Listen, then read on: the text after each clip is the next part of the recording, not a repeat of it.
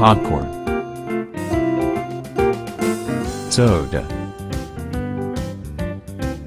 candy. You can have all your favorite refreshments at your local movie theater.